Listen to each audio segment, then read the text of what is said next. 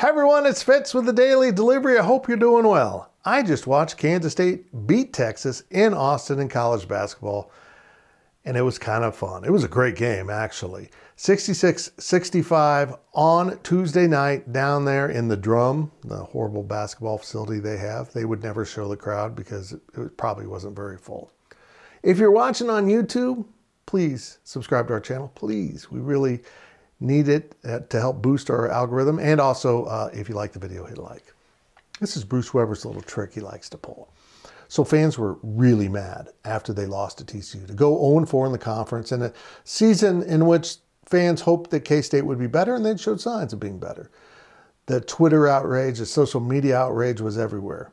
And what Bruce Weber does is a little odd, but it works. He weaponizes that discontent from his own fan base with his team.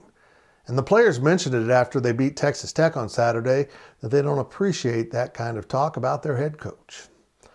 Well, fans haven't been very happy, and there's a long story to why, and the guys that have come in just this season probably don't know the whole story. But still, Weber has found a way to motivate his team, and by golly, it's worked. They beat Texas Tech, and then they turned around and beat Texas. Back-to-back ranked teams in the Big 12 have fallen to the Cats, who are now 2 and 4.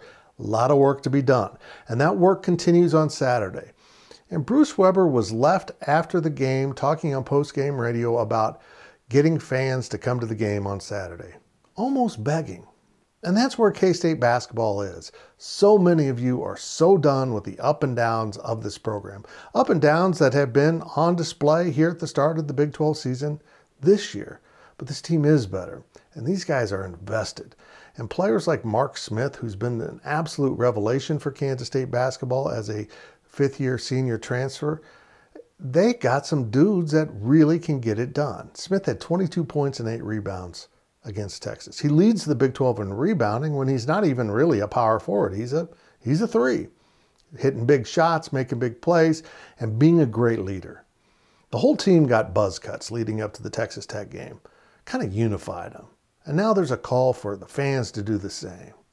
And look, I'm in the media, so it doesn't really matter what I do, but I've agreed that I too will shave my head for Saturday's game against Kansas.